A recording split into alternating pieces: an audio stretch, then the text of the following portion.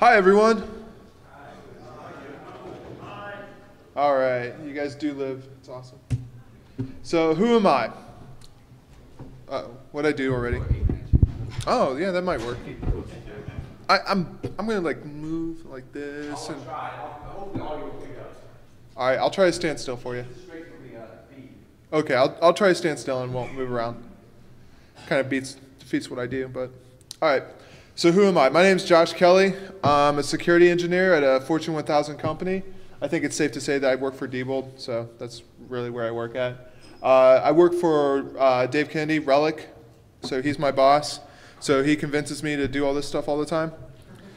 Um, because of him, though, I've, I've, been able to speak at Black Hat, DEF CON, B-Sides uh, Las Vegas, and uh, local Northeast Ohio uh, security events as well. Um, some of my code that I've done uh, has been included in the social engineering toolkit. Uh, it's also been released on uh, SecManiac, some of the other stuff I do. Um, David adds to SecManiac, so he always credits me and stuff like that, so he doesn't try to take credit for it. But um, I like to hit people.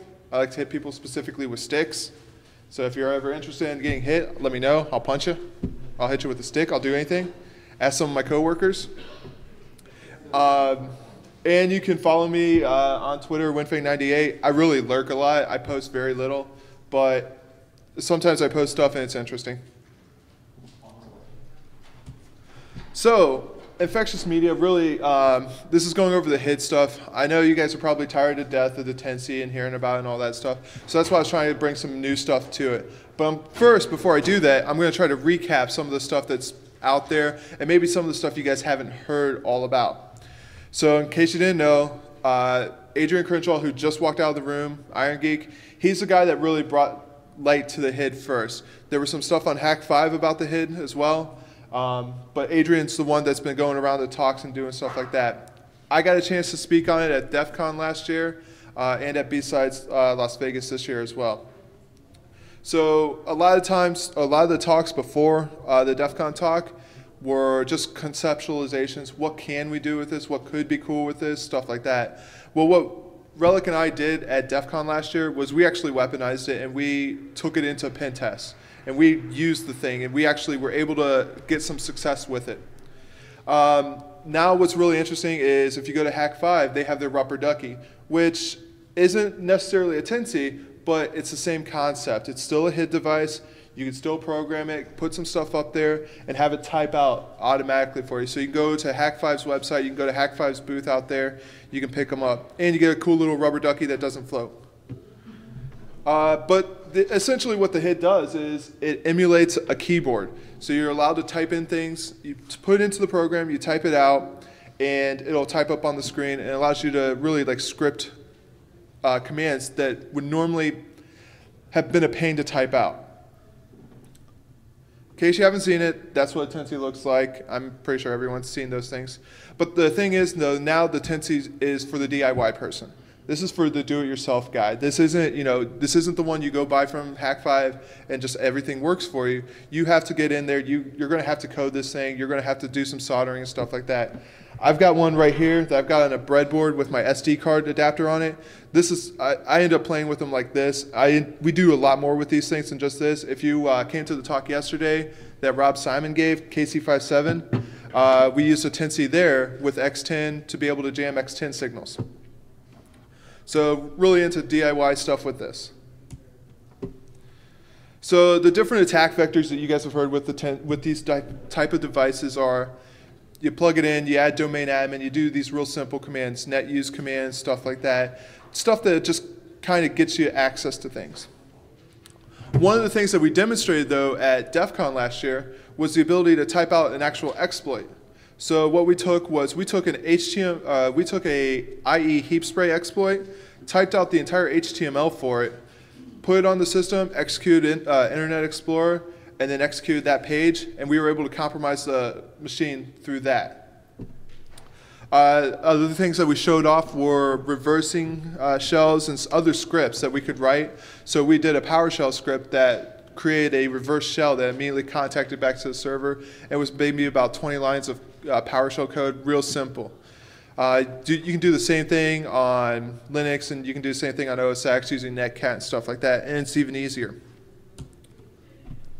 But the big thing was that we had fun with it too. We were able to screw with coworkers. I don't know if you guys have heard the story about the one coworker I have that we decided to see how test my soldering skills and test my ability to conceal things by putting it inside of his keyboard. So we put it inside of his keyboard, and there's the actual code that we put on there, and it was just a mouse moves around every 30 seconds or so and clicks a button. We let it sit in his in his keyboard for a week without telling him about it. And uh, our help desk ended up hating us more than this guy hated us because he contacted the help desk constantly. He was going to the help desk, I need my, because it was the mouse moving around. So he's like, I need a new mouse. You guys got to give me a new mouse. So they give him a new mouse.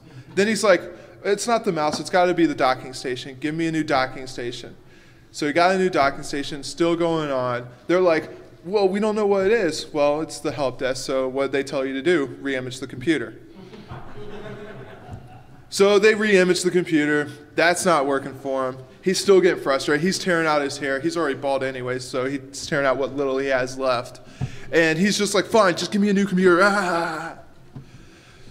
So he gets the new computer, and it's still going on for him. He's just he, he's completely lost his mind. He doesn't know what's going on. He hasn't nev- he's never tried to replace the keyboard the entire time. Uh, and what's worse is we got a guy sitting right next to him who was with me when I was put it in, and you know he helped keep him away from this desk so I could put it there. And he's constantly going to this my other coworker, and he's like, Ryan, Ryan, what's up? I don't know what's wrong with this. Please tell me, you know, help me out. You worked on the help desk, and he's just like, Did you try the mouse? And that's it. That's all he would say to the guy. He was just like, I think he was going to strangle him too after he found out what happened. So this was all in a practical joke for our CSO, though. This was going to be a, a phenomenal practical joke on him, and I was going to lose my job for it if I did it.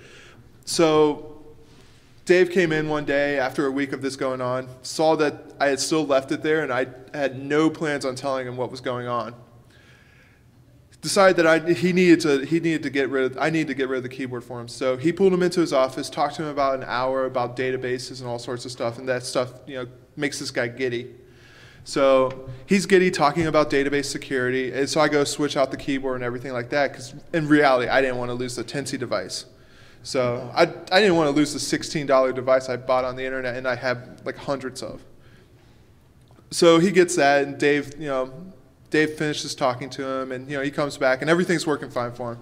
He breathes a sigh of relief. A week later, someone told him what happened and the guy hasn't talked to me since. I know it's not a bad thing at all. Actually, it's really good. I don't have to hear about database security every single day. It's really nice to hear. So, but that's one thing you can do with the Tensy. I'm sure you've seen you know people put them in mouses and stuff like that, and do all sorts of other cool things with them. But uh, something else I heard you know people are doing. They're using these Tensy devices to jiggle the mouse every five seconds or so, so that way they don't have to worry about their screensaver. Because Lord knows you don't want that poor sysadmin having to have a screensaver and having to go log on and type his password again every time he walks away from his computer. You know, as a security practitioner, I don't want him to have to do that. So I don't have to send funny emails from his account and switch his screens up and do all sorts of stuff like that to him. But you can also do it embedded into a presence for family and friends and stuff like that. You know, Adrian did some stuff where he put it in all sorts of things, and I saw something on Hackaday where someone used one for a LED mohawk on a Viking helmet. So these things are fun. You can do a lot of interesting stuff with them. But the more less the less common attack vectors and the more lethal attack vectors are really it's the you can brute force a console log on. Everyone knows on Windows if you have the console up on the screen and you try to log on to it and fail and try to log on to it again and fail and again and fail and again and fail and again, it's not going to lock you out. It doesn't care what your group policy says. It's not going to lock you out. You're at the council. So since this attack vector is being having physical access, you plug this in. Well, this means now I can brute force your password. Okay, now it's a viable way to brute force uh, Windows password at the council. Inline keyboard logger slash injection. What's really interesting about this is that with these devices, you can intercept all the keyboard commands coming in record them, log them to another device like an SD card, and then replay them back to the computer as if it was typed in. So the user never really sees anything. Well, what's interesting is, okay, let's say we, we don't see any activity for five minutes. Okay, great. We'll keep it alive. We don't see any activity for 10 minutes. Okay, we're pretty sure this guy's at lunch or something like that. Now we can start interjecting our payload into the system. We can start, you know, adding domain admin accounts, adding local admin accounts, stuff like that. Create that backdoor so we have a shell on that system. So it's really nice when you get that nice keyboard or mouse or whatever from your vendor. It's like, here, use my keyboard. It's a great way to get that in there. Also, uh, Ohio State kid, he's really flicking off uh, USB bypassing or USB filtering because there's no way you can prevent it. When you can control what's you're sending to the computer, most like products like SEP will restrict you based on vid and PID. So the, the VID and the PID of a Dell keyboard is right there. So all I have to do is go into the header file in the library change this one area right here where it says vendor ID and product ID. And then now I'm using a Dell keyboard. Anyone ever plugged in a non-Apple keyboard into their Mac and had that stupid control screen pop up? Press the control button, press this, press that. It's annoying as hell. So what you do is you change it to be an Apple keyboard. Never comes up again. No way anyone's going to know what you're plugging in now because it's never going to tell the truth the VID and the PID that's in that code right there, that's what Tensi initially puts in, so it's nothing really interesting. But what's really interesting though is where uh, I saw this picture over in China.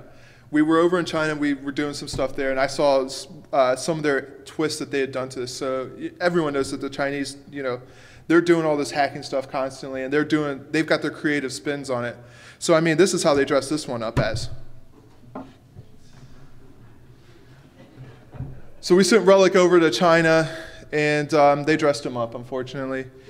That's traditional uh, wedding ceremony garb that they wear over there, and that he is the bride in this picture. I don't want to show you the other face because the guy, I don't know if he'll kill me or not, but he probably would. Um, but yeah, so that's what Relic does in his free time if he's not on the computer. He has tried to pwn me so many times in presentations and have pictures of me doing all sorts of weird shit. I'm trying to get him back now. So, so a lot of the stuff we do with the HID is we put out there scripts. We do simple commands. So it's nothing that great. It's just basically a macro for us. Well, this year we decided, okay, let's go beyond just this macro, just this scripts, just stuff like that. Let's actually take executables and let's start placing them on the systems.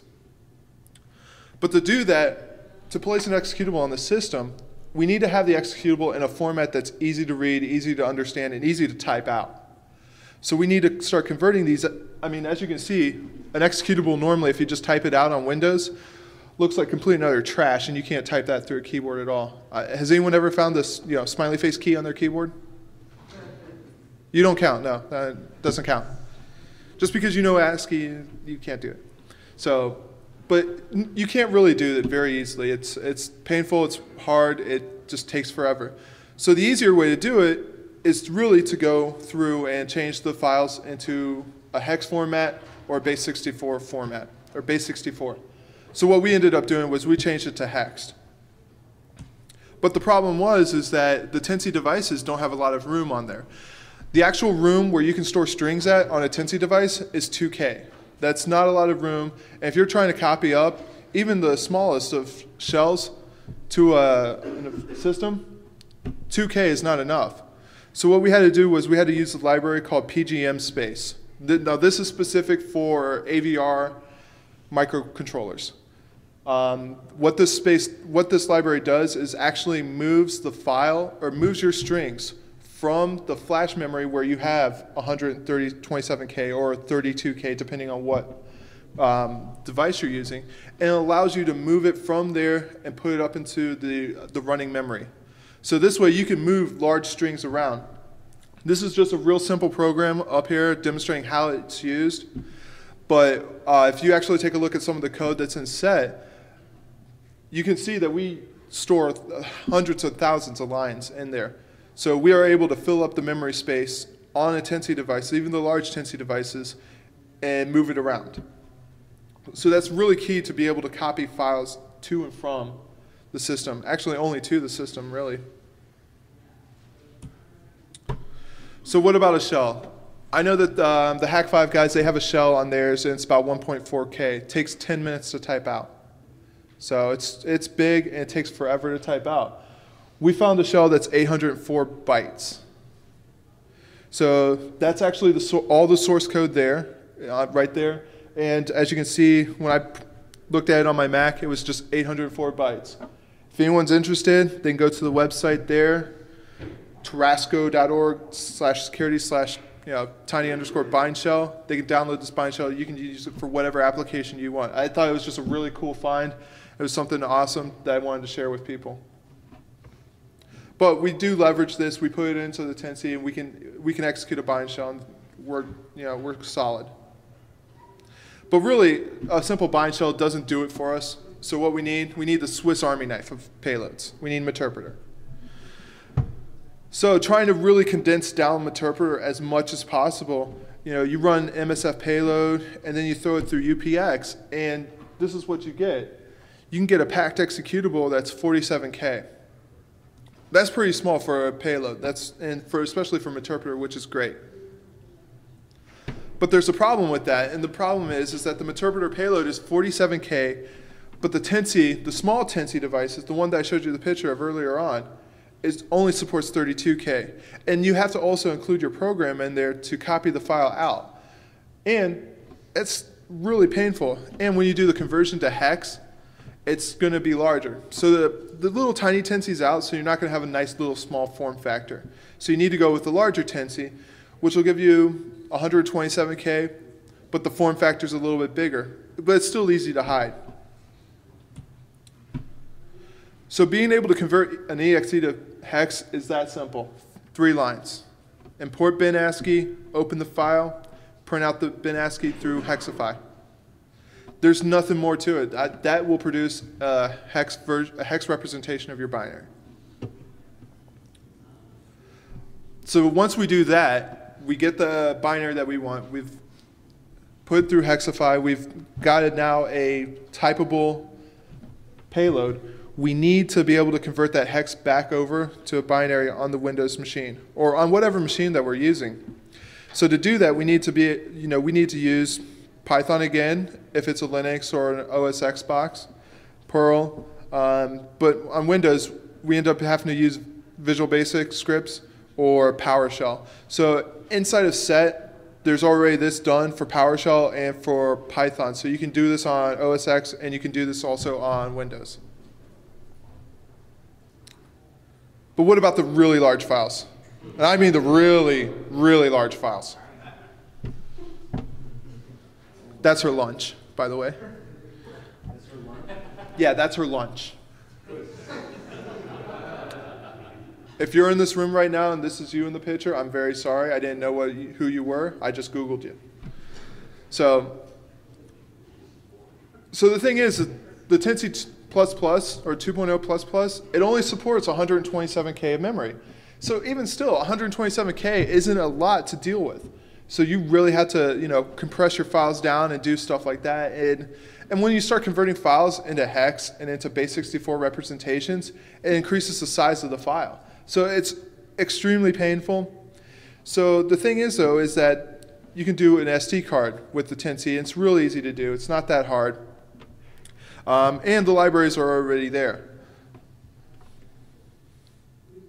So now the file size is only limited to the SD card. So if you got a 2 gig SD card, you can have a 2 gig file. You know, 512 meg SD card, because I have lots of those laying around. You know, 512 megs, that's how big of a file I can do. So that makes it a lot easier. But there's a little bit of a problem with, uh, with using this and using it as a HID device. So using it as a HID device, we're limited by the operating system. The operating system theoretically will only support 500 keystrokes per second, and most in some operating systems even limit that further because of the the frames that are sending. It limits them down to 62.5 frames a second or keystrokes a second. That's really really freaking slow. I think I can get carrier pigeons that travel faster than that. So, but that's all theoretical, and when you actually do this, it's even slower. So I actually had to type, put in like 80, sec, 80 millisecond delays into the keystrokes just so I can make sure I could time everything right. So I'll actually show you some of the, uh, the code here.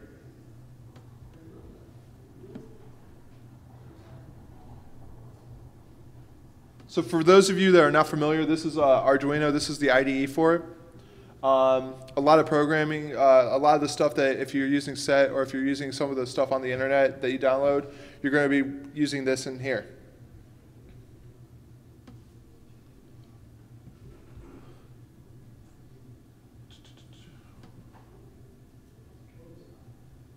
Give me a second. Let me take a look to see where this is at.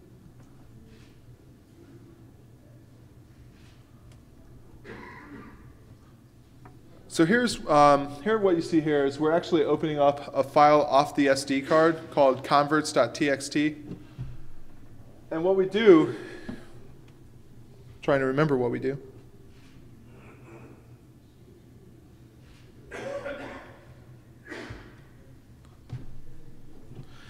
So we open up the converts.txt. We take a look to see if the data file really exists. And then what we do is we take a look at the size of the data file, and then we start doing using the, um, we just start printing it out byte for byte, the byte representation of the data file to the, to the computer through the keyboard. So it's really easy. It's not that hard. Uh, it's pretty simple. But what you see there, though, is you see this delay 10. This delay 10 was required because while we were typing this out, either the speed of the processor on the microcontroller or the speed at which my Mac accepted the keystrokes was highly limited. So it ended up being that I needed to delay it 10 microseconds, or 10 cycles is really what delay does it in. It's a cycle of the microcontroller. Uh, I had to delay it 10 times just to allow the text to be typed out in a normal fashion and to be usable. If this wasn't in there, the text gets typed out so fast that it gets lost in its buffer and it gets overwritten and it won't be able to copy to the system correctly.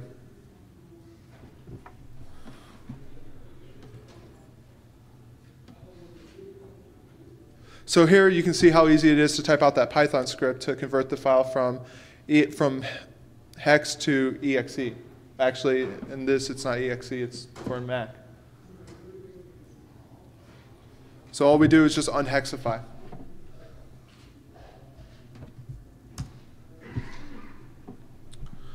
So that's the problem that we run into with the SD cards. They work, but if we're doing really large files, if we're trying to do anything more than a few K of files, it's not going to go fast. It's going to be a pain in the butt. You're going to end up sitting there for 10, 15 minutes. I've even had some files on there that I timed in hours. That's how long it took to type out these files. So it's not really a, a very practical method to do if you're trying to do anything large. So there was a solution for that that I found. I found if we use the serial libraries inside the Tennessee, that works a lot faster. That it's bidirectional, and its drivers are on all the OSs. So what we can do now is instead of just relying on the Tennessee to download files, we can upload files as well. Not only that, but we can also look around to see what's on our SD card, and we can actually interact with our SD card as if it was a USB drive. But it's not enumerated as a USB drive. It's now enumerated, in this case, as a USB serial modem. Most people aren't blocking USB serial modems, so it's pretty easy to get around that. So why is it better? Again, bypassing device control. You can upload download files, faster transfer files. So what I did was I wrote an interactive shell to work with the Tennessee device as a serial drive in a serial mode so I can upload and download files from there. So one of the problems is, is that I need to be able to enumerate the device as a serial device or as a HID device first so I can copy my interactive shell program, which is only maybe 100 lines of code or something like that. I'll show you here in a second. But I need to be able to enumerate as a HID device first, then shut it off essentially, re-enumerate it as a serial device, and then open up this channel between the two. So unfortunately, I didn't get a lot of time to work on that part of it because uh, since DEF CON and B-Sides, when I, we first talked about this, uh, I had a baby between then. I didn't have a baby personally, but my wife had a had a baby, so we have a three week old at home. And if anyone has kids, they know how you never sleep. So I'm here, this is my vacation, and I've been able to sleep. It's been awesome. So, but the other thing too, to use this interactive shell, you need to know what devices are re- restricted and aren't restricted. But in most cases, they're not really doing the full blown restriction of, thing, of things. So it's not that big of a deal. So let me go ahead and show you the interactive shell.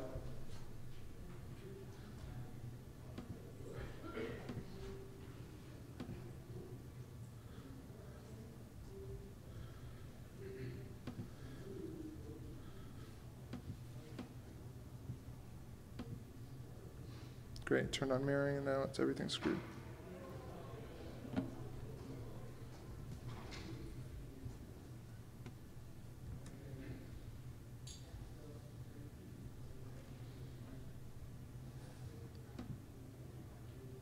Okay.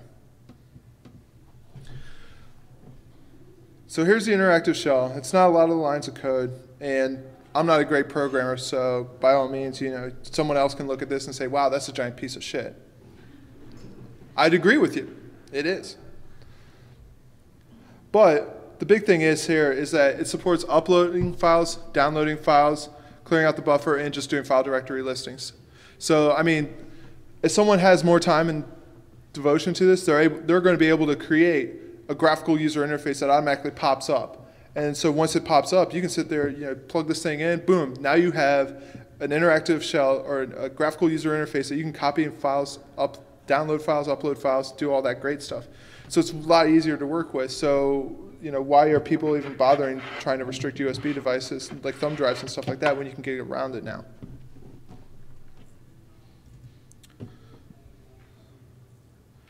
There's also the other side to it, which is the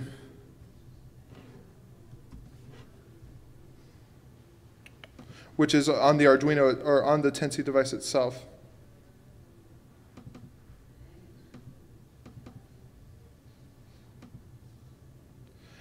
So all we have to do on this is just include the SD libraries. We initialize the card.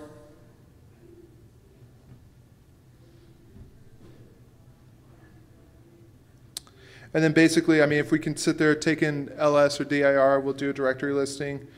Get, we get files. It's pretty simple stuff. So it's not a lot of complexity in there. So it's very easy for someone to do. What's up? Yeah, no problem. As long as I didn't do it. I mean.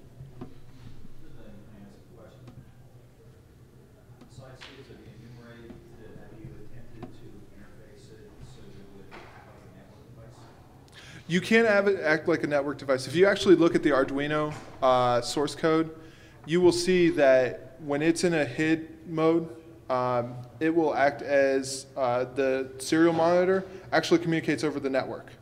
So it creates a port on localhost, and that's how you're able to still monitor the serial and do your HID interaction with the computer.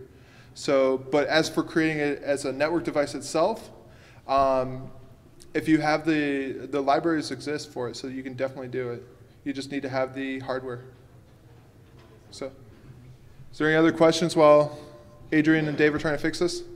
Yeah, we had to stop from the beginning because we missed part of the time. What? Actually, it didn't someone the first part of the talk, I'm sorry, man. We had, we had issues. Do it again? Don't boo me, please. Don't boo me. Boo those guys. So part two. I can do it at Neo InfoSec. That's fine. If you can do that, I can get a copy that'll be at least. Yeah, yeah. I mean, we can do it at Neo InfoSec. That's not a problem. Uh, we could try for. We got all your audio, it's just Yeah, we got video, your audio. slides, something crashed on it. Okay. Do we need to go through the slides again, No, no, or? no, this, this continues. Okay, yeah. Because I was gonna say I've only got uh, like 15 minutes left or 20 minutes left. Oh, I got a question for you. Okay. Uh, you said you don't know how to do the switch over and. Yeah. So I have the. Now, yes, you can use two tenses. That's perfect. That that works. But the thing is, though, is that you're using two tenses. You're using two USB slots. You want to try to. I want to try to condense this down as much as possible. I want to try to make it in one device. So um, if we take a look here, How are you doing it currently? two tenses. A hub, one USB slot, two tenses in hub. Um, I have one Tensi here, and then I have another one I plug in. So, like I said, I just had a baby, or my wife had a baby, so I haven't got to the, that point where I got that done. But, I'm sorry? Absolutely. Of course, I feel like I'm the one that had the baby. I don't know what childbirth is, so I don't know. I go to the bathroom, I feel like I have a baby. I mean,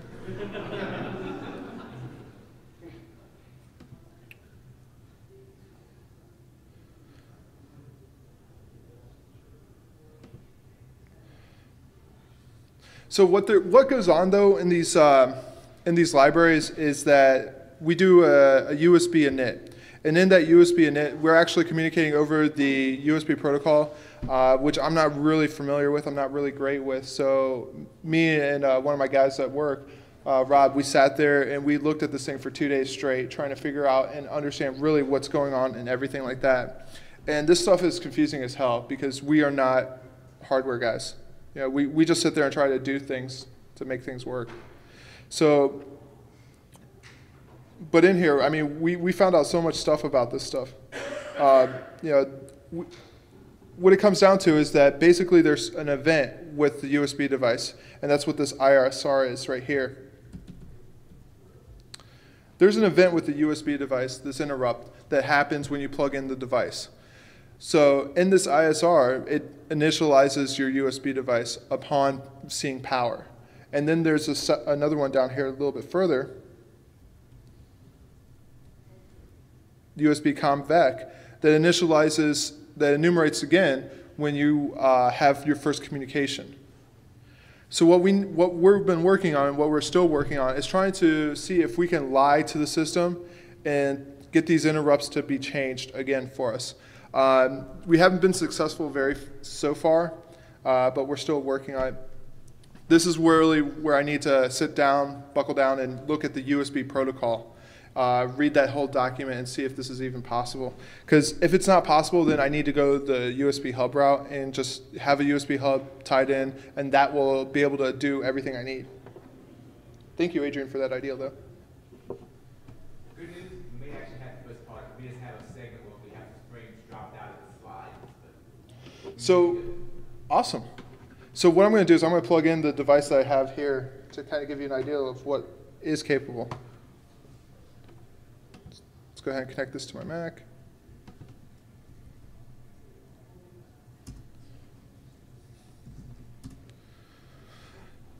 So here's my interactive shell that I developed for the SD card. So this will work on any Tensi device that has an SD card. Actually, this will work on any Arduino based device that has an SD card. As long as it's enumerating as a USB serial device at the moment, um, on a Mac, it enumerates in dev slash either tty.usb modem 12341 or as um, cu.tt or .usb modem 12341. Uh, as long as it enumerates as one of those two, you can go ahead and use this. I mean, or you can just change the variable inside the program itself and do it too. So here, I go ahead type in ls. I can try that again. There. So it's, it's glitchy. I put this together kind of last minute to kind of show you guys things. But this is the contents of what's on my USB or on my SD card. So there's a converts.txt file, serial.sh, and stuff like that. So in this directory here,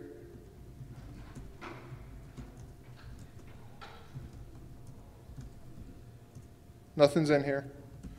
So here I'm able to get serial.sh. So now I've gone ahead and copied 80 bytes over. In reality, I truncate the last byte of this because it's a it's a FF. It's stupid. I hate it. So. But there's my serial.sh file that I copied over. So that's all that it is. Um, that's how easy. In the serial.sh file, this is also how you can just read from um, the serial device in Bash as well. It's pretty simple, pretty easy. So you can see that there's this larger file here called converts.txt.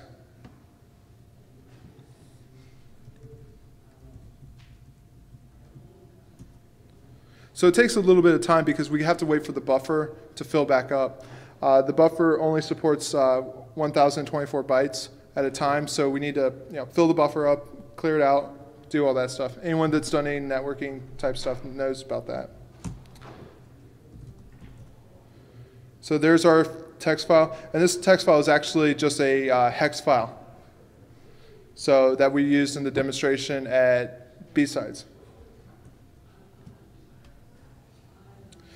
So when I was able to get this, it made me happy. It made me like silly happy. So I'll show you how happy it made me. And when I mean when I mean silly happy, I, I started dancing. I wanted to dance like a oh god, I don't know what I wanted to dance like. I wanted to kind of dance like this. That's how much I wanted to dance.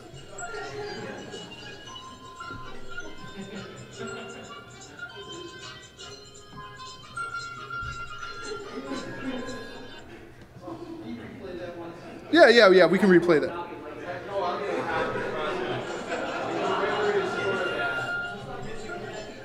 So yeah, this is uh, this is payback for all the presentations that he's put retarded pictures of me in there. I just like to I like to thank my coworkers for making for being very diligent and making sure that this stuff is recorded and archived so we can bring it back to haunt him later. That one I do have for sure. What's the, yeah, yeah.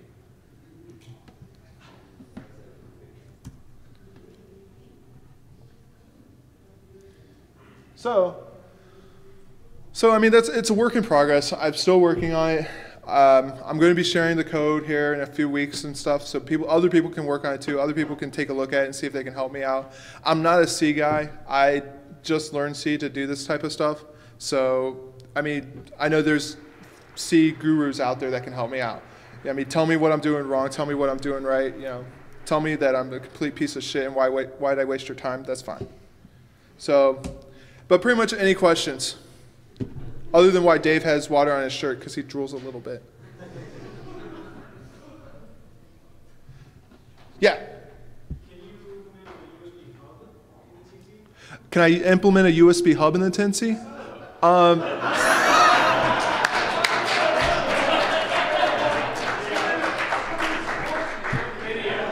thanks for the support, Dave.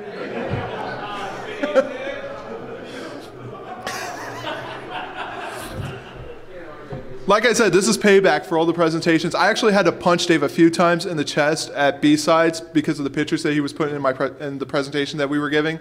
So I don't know if anyone saw those B- those pictures, but um, I've deleted them, so you won't find them.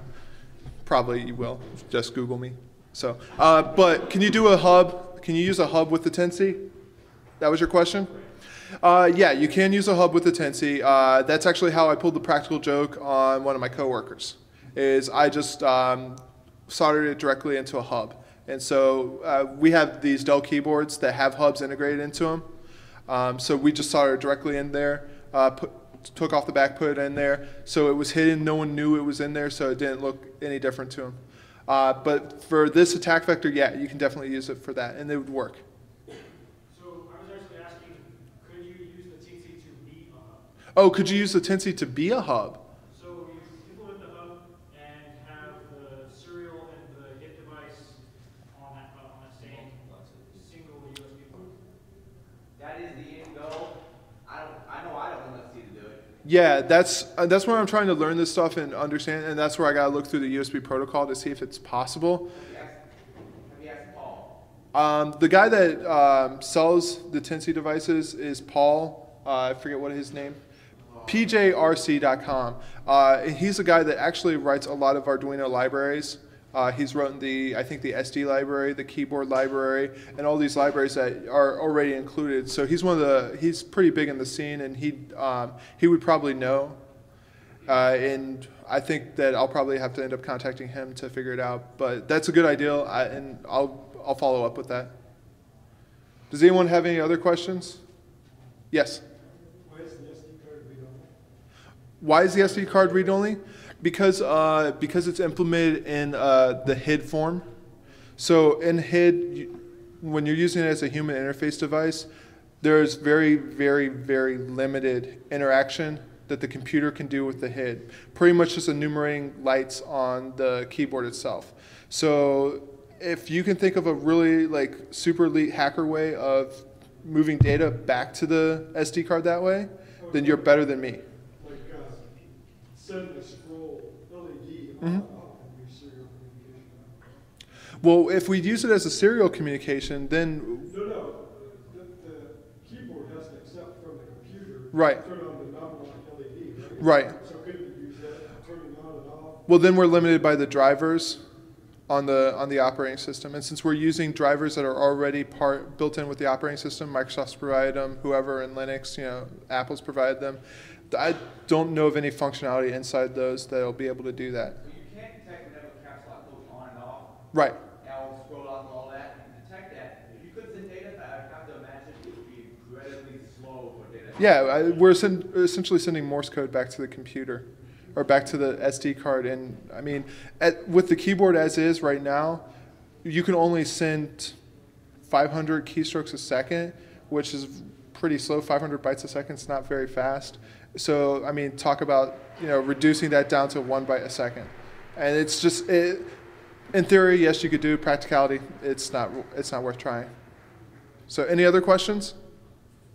Yes, you in the red shirt. Can we see David's buddy picture one more time for cheap seats? For the cheap seats?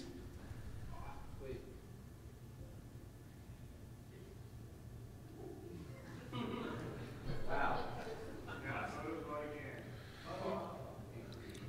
yeah. Yeah, uh, yes. Adrian. implemented a keylogger as well. I was trying to do that, and I had to go into his uh, PS2 library, Mhm. do some massive changes to see extra characters. Yeah, we had to end up going into the library, and it was it was a pain in the butt. So um, I can talk with you more about it offline.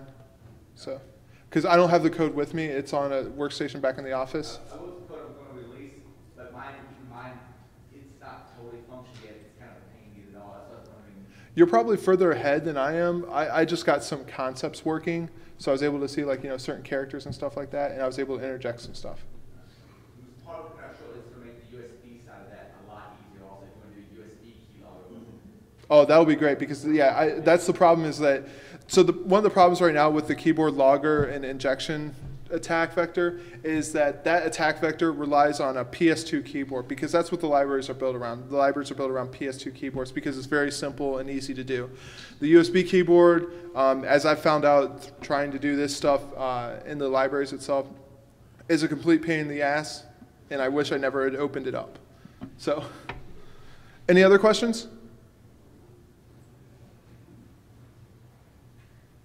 All right, I guess there's no more questions. Thank you for the thank you for attending.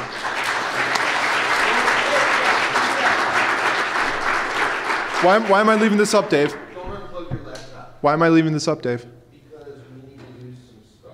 No, you realize he's my boss, Dave. So who's blacked out in that picture? Someone else that can get me fired.